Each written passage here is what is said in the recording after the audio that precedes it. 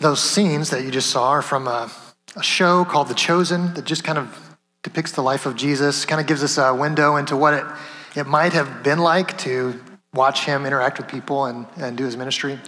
Uh, so um, I really like that show.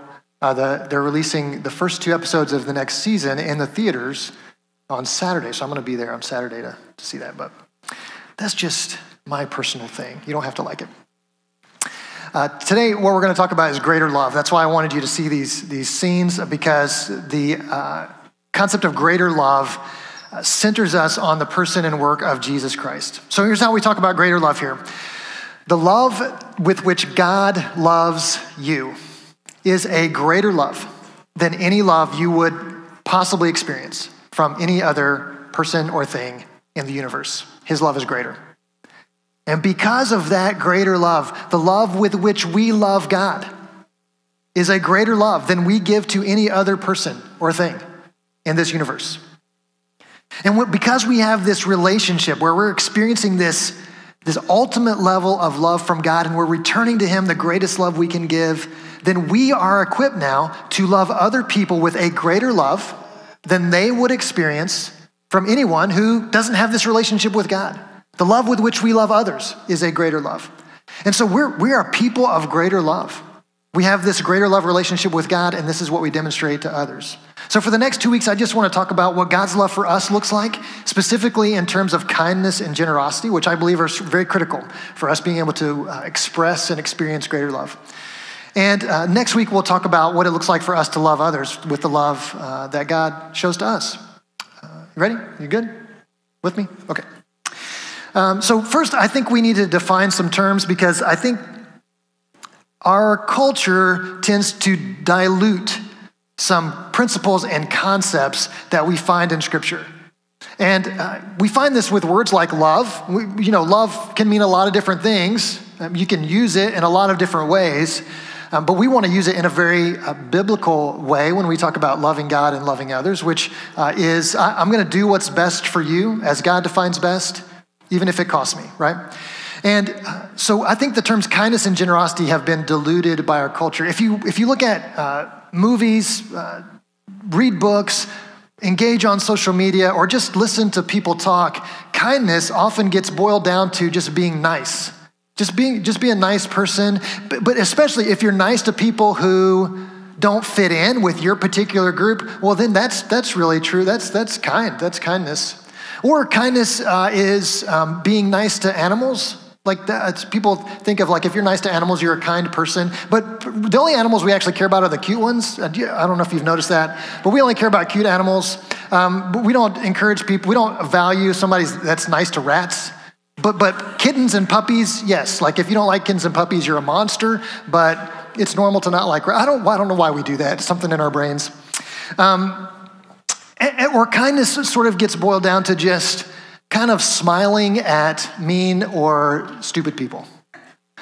Um, like, you know what I mean. Like when you see, see somebody doing something that's just like a knucklehead thing to do or, or, or, disrespectful, and you, do, and you can just kind of smile and, and turn away. That's kindness. That's sort of our culture. Like if you do all of those things, our culture would say, you're a really kind person. You should think of yourself as a kind person. But God's way of showing kindness blows that definition of kindness out of the water. God sets a different bar for what it means to be kind. We're going to look at that here in a minute. Same with generosity. I think generosity, the way our culture portrays that, sort of gets boiled down to like if you have a little extra and you give it to someone who doesn't have as much as you, that's generous, right? If you have a little, you take the extra that you have and you give it to someone who doesn't have as much as you, that's, that's generous. Or if you give extravagant gifts, if you just go over the top for a birthday or, or anniversary or a Christmas, or if you just go over the top, then that's generosity. Oh man, the way that God demonstrates generosity blows that definition of generosity out of the water. And so, what I want to challenge us to do, I want to give myself and you a little encouraging kick in the rear to not settle for our culture's definitions of kindness and generosity, but to embrace God's. And first, we're going to embrace God's kindness and generosity to us. Jesus said in John 15, 13, greater love has no one than this to lay down one's life for one's friends. Jesus' bar is pretty high. He's not talking about being willing to die for someone, right? Because we, we kind of, we have that theor- theoretical, hypothetical question posed like, you know, would you, who, who, would you step in front of a bus for? Who would, who would you, you know, jump in front of a train for? Like, you, you know, your kids, your, you know, your spouse, your parents. Jesus is not talking about that hypothetical. He's talking about literally dying for your friends. Jesus took it a step further and died for his enemies right? This is the kind of love that produces the kindness and generosity that we experience from God. So let's talk about God's kindness and generosity.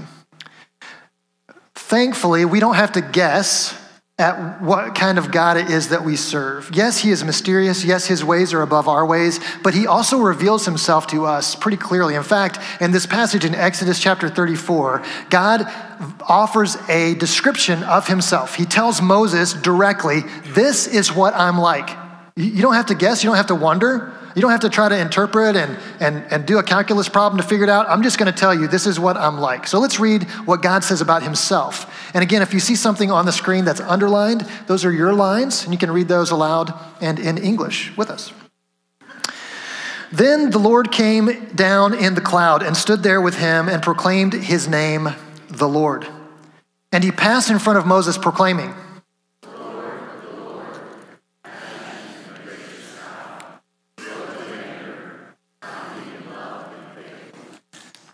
maintaining love to thousands, and forgiving wickedness, rebellion, and sin. Yet he does not leave the guilty unpunished. He punishes the children and their children for the sin of the parents to the third and fourth generation. This is a really key passage because God is describing himself.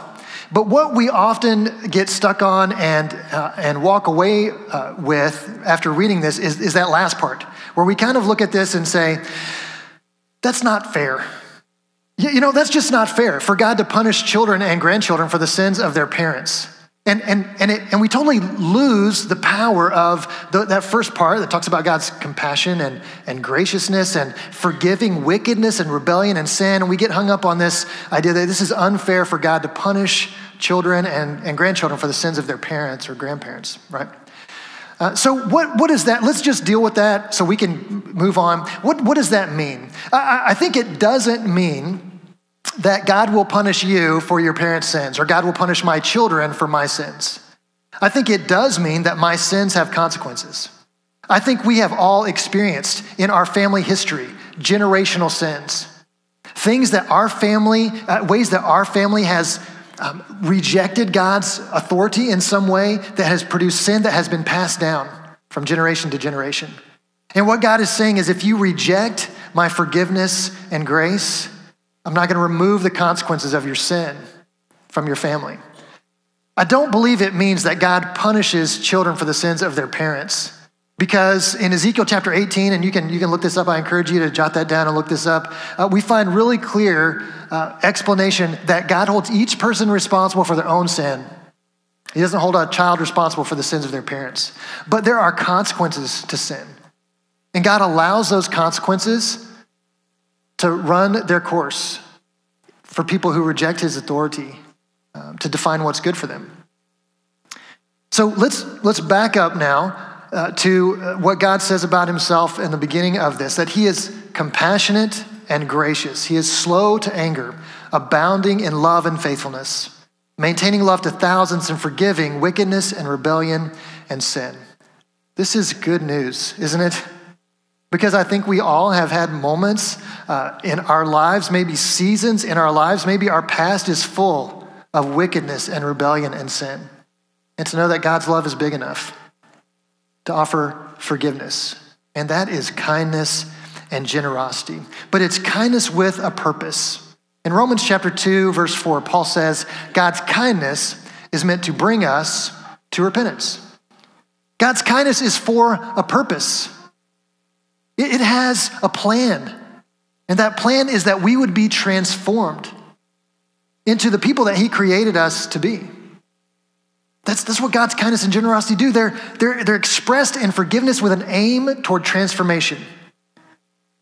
What God wants to happen as a result of his kindness and generosity is that we are shaped, we are formed into the image of Christ.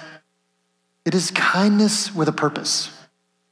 And because it's kindness with a purpose, it means that God doesn't, in his kindness and generosity, affirm all of our choices. I think there is a prevalent idea in culture that love equals affirmation. If you love me, then you will affirm my choices, my lifestyle, my decisions. If you love me. And if you don't affirm my choices, my lifestyle, my decisions, then you don't love me. If you're a parent, that sounds insane, doesn't it? like if I take my five year old son to the zoo, my sons are not five anymore, they're much older, and uh, they, they, they see the, the wolf exhibit and they go, Dad, can I go play with the doggies? Like that's what I want to do. That's the desire of my heart. I see myself as a dog person. And as a dog person, I can't not go play with the dogs. If I love my child, do I affirm their, their choice to step into this environment where they have no idea what they're getting into because they can't tell the difference between a dog and a wolf, right? Or it does kindness and generosity mean I protect my children from things that they don't understand and I guide them away from what is harmful and toward what is helpful. That's, that's the kindness and generosity of God. God's kindness is meant to lead us toward repentance. Because God understands what we don't, God sees what we can't. And God guides and protects us in the direction away from what is harmful and towards what is beneficial. His kindness is kindness with a purpose. And so, if we want to know what that looks like in real life, yes, God says this about himself. What does this look like in real life? Whenever we want to know what God's characteristics look like in real life, where do we, who do we look to? Jesus. Jesus is the image of the invisible God, right? He is God made flesh.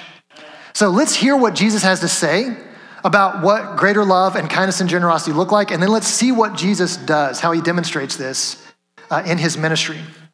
So let's look at Matthew chapter 5. This is from the Sermon on the Mount. Uh, that it's, a, it's a sermon that Jesus probably preached regularly, and Matthew records it here in chapters 5 through 7. Uh, Jesus says, You have heard it that it was said, Love your neighbor and hate your enemy, but I tell you, that you may be children of your Father in heaven. He causes his sun to rise on the evil and the good, and sends rain on the righteous and the unrighteous.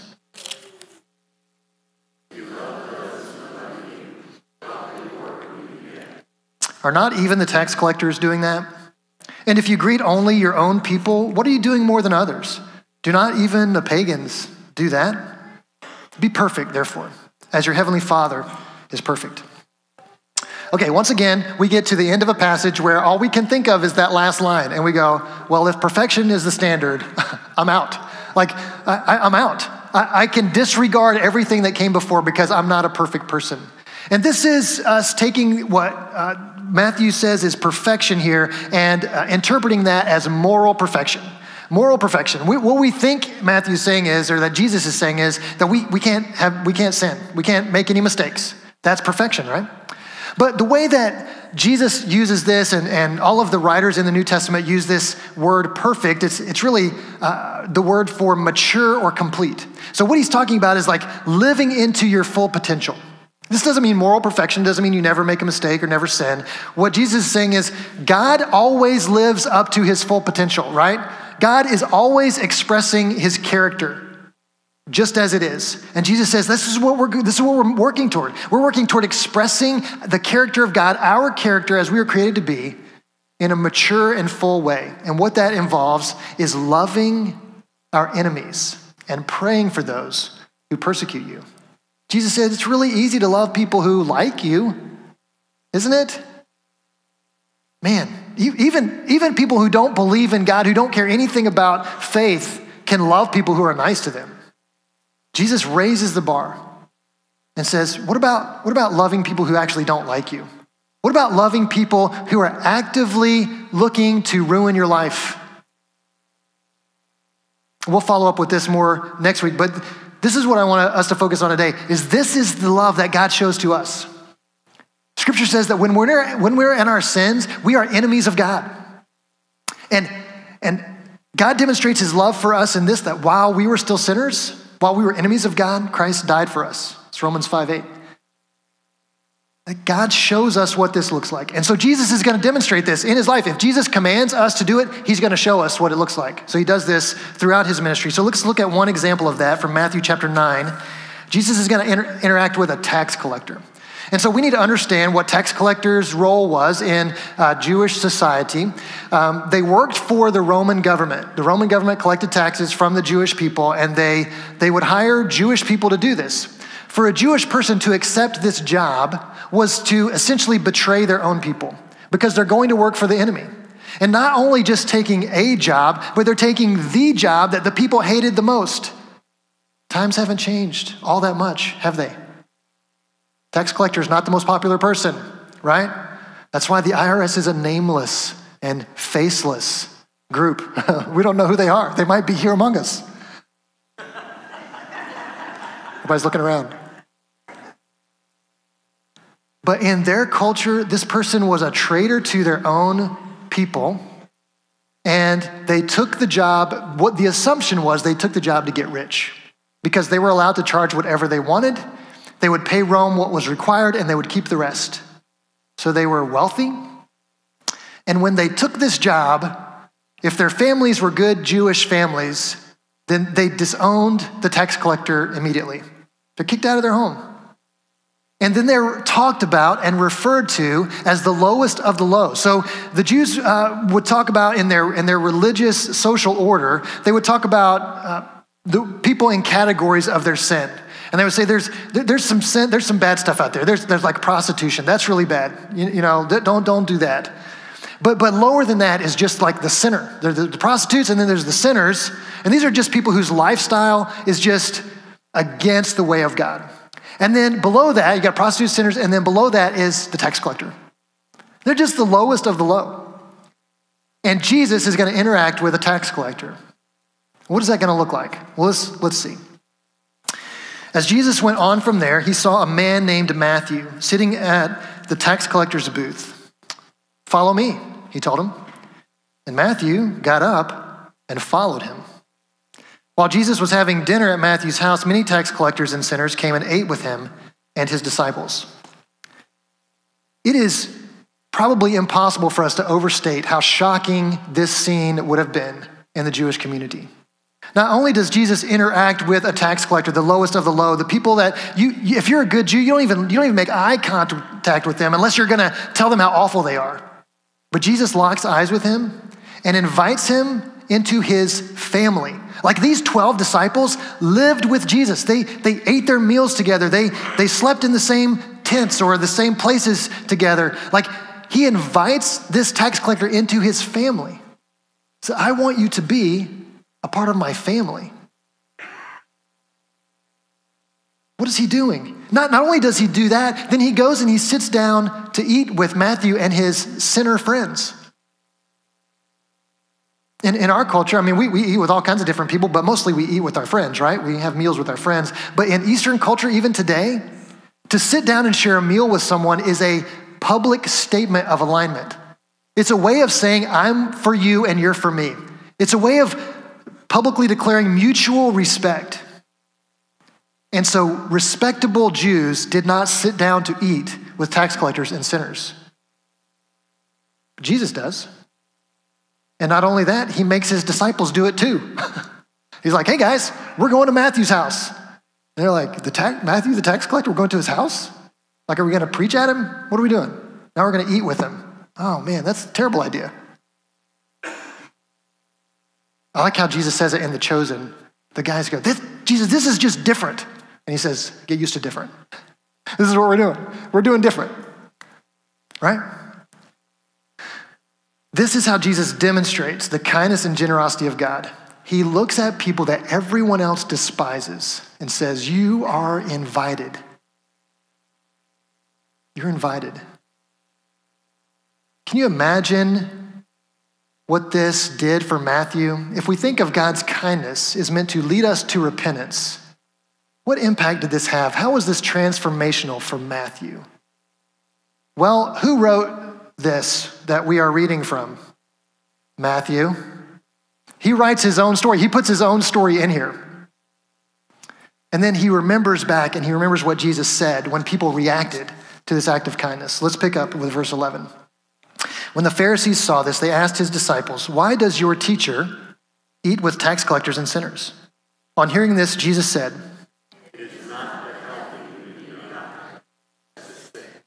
But go and learn what this means. I desire mercy, not sacrifice.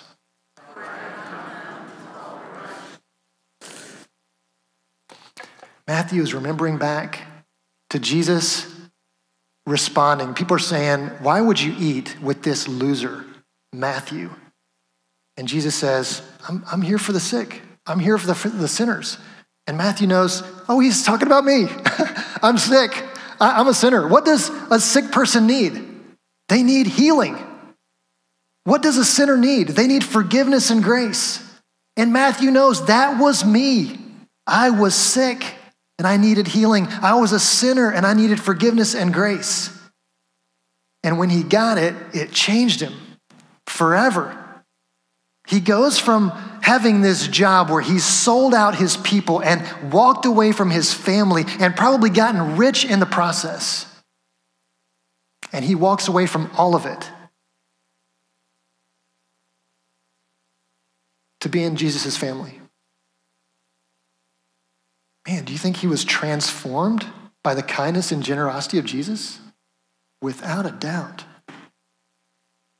That's what his kindness is for. It's kindness with a purpose. Has God been kind to you? It's for a purpose. It's not, it's not just so that you'll, you'll have warm and fuzzy feelings, although I, I have those sometimes, singing Raise a Hallelujah with my church family. But it's deeper than that. It's to change me, it's to shape me. So I need to ask myself this question, and I want to invite you in. What does it look like for us to receive the kindness and generosity of God? If we know that it's for a purpose, if we know that it's to change us, what does it look like for us to receive that? So here's what I want you to think about think about a time in your life where you wanted something and didn't get it. And looking back, you see the kindness of God. Or maybe you didn't want something to happen and it happened, and looking back, you can see the kindness of God. Let me give you a few scenarios to think through that may or may not relate to you or someone you care about. Maybe at some point in your life you had a secret sin and you just hoped against hope against hope that no one ever found out and someone found out. And it was painful. And it broke relationships. And maybe it led to f- repentance and forgiveness and healing. And you look back and you see the kindness of God. Maybe you were comfortably on the fringe of a group, like a church or a group of believers, and you were happy just to be sort of on the outside looking in, just to show up every now and then and watch, observe. But there was this really annoying person who wouldn't leave you alone and kept inviting you deeper in. No, come to our group, get involved, serve, be more consistent. And it drove you nuts. And you finally gave in. And you got involved, you got connected. You became more vulnerable. And you look back at that annoying, pesky person and you see the kindness of God. Maybe there was a moment when you had a need. Maybe it was a financial need or some other kind of need that you just, you just don't like asking for help. You don't like to be the one who needs something. So you didn't tell anybody. And you weren't going to. You're just going to figure it out. I'll just figure it out. I'm a grown up. I can make this happen. And somebody who cares about you stuck their nose in your business and found out about your need. And they organized some friends or they brought it to the church family, and your need was taken care of. And you look back at that nosy person that stuck their nose in your business, and you see the kindness of God. Here's what I hope we can interpret from all of that is that those moments when we wanted something and didn't get it, or we didn't want something and we got it, and we can see the kindness of God that maybe, maybe, maybe, the next time we really want something and don't get it, or the next time we want, we don't want something and we do get it, maybe our eyes should be open to how the kindness and generosity of God are at work in that. Not causing your pain, but being present in your pain. And it's there for a reason. It's there to transform you and to change you. What does it look like for us to receive the kindness and generosity of God? First, uh, just two suggestions, then we'll wrap up. First, uh, live like what he says about you is true. What, what is it that God says about you? Well, first, God says you are loved. 1 John 3 1, how great is the love? Greater love. The Father has lavished on us that we should be called the sons and daughters of God. And that is what you are. You are loved. Second, you are forgiven. 1 John 1 9. If we confess our sins, he is faithful and just and forgives us, and purifies us from all our unrighteousness. You are loved and you are forgiven, and you are family. You are family. Let's go back to 1 John 3 1. How great is the love the Father has lavished on us that we should be called what? Sons and daughters of God. He has adopted you into his family. He, he made you family on purpose. The rest of your family, you didn't get to choose them. You're looking around going, yeah, I didn't, I didn't sign up for this, right? But God chose you, put you in his family on purpose. You are loved, you are forgiven, you are family. Live like it. What, how would it change your approach to your day tomorrow if you woke up on a Monday morning freezing cold, but you know down deep that you are loved, you are forgiven, and you are family.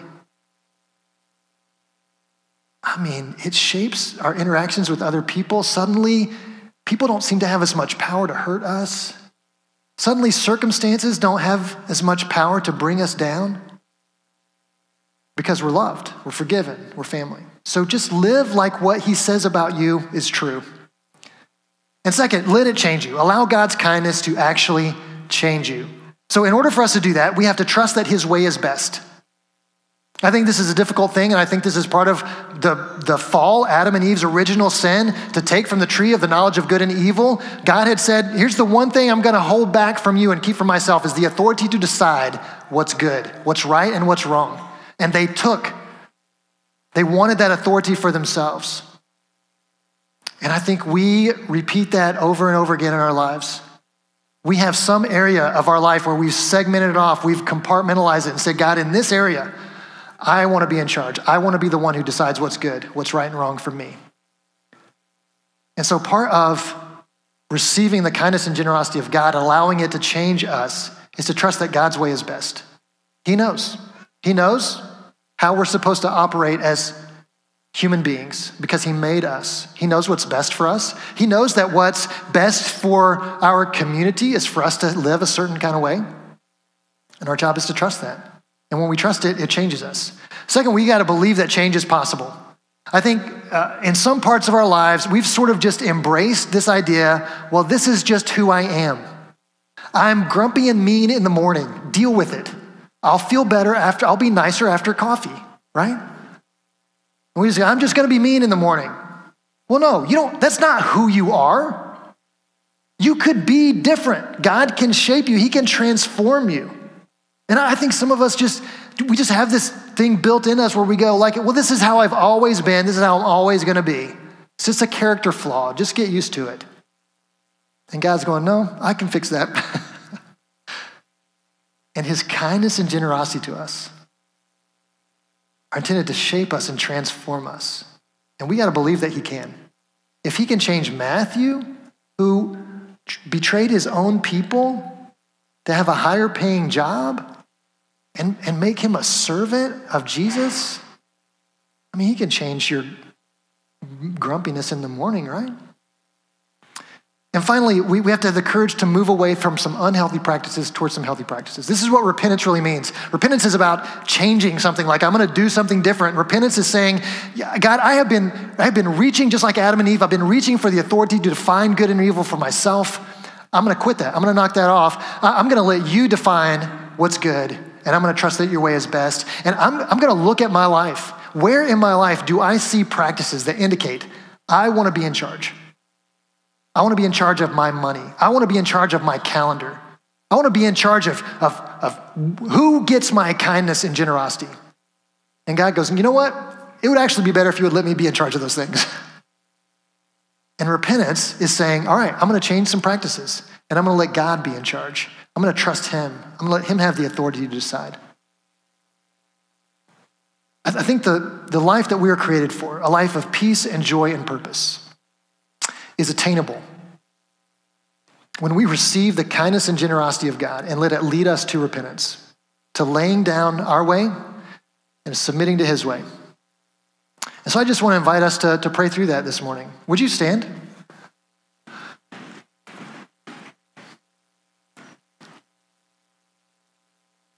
And, and let's just go before God with this prayer. Where, where in my life, God, do I need to let your kindness and generosity change me?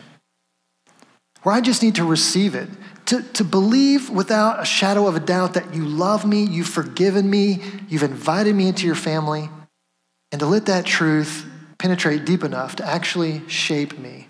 Let's just bring that prayer before the Father this morning. God, we thank you so much for Jesus, the way that he speaks your character and demonstrates it for us in a way that we can understand and we can embrace. And my prayer this morning, Father, is that we would receive your kindness and generosity the way that Matthew, the tax collector, received it and was changed by it. That we would acknowledge we are the ones who are sick, we are the sinners who need Jesus' grace and forgiveness. Would you help us to embrace what you say about us, that we are loved and forgiven and family?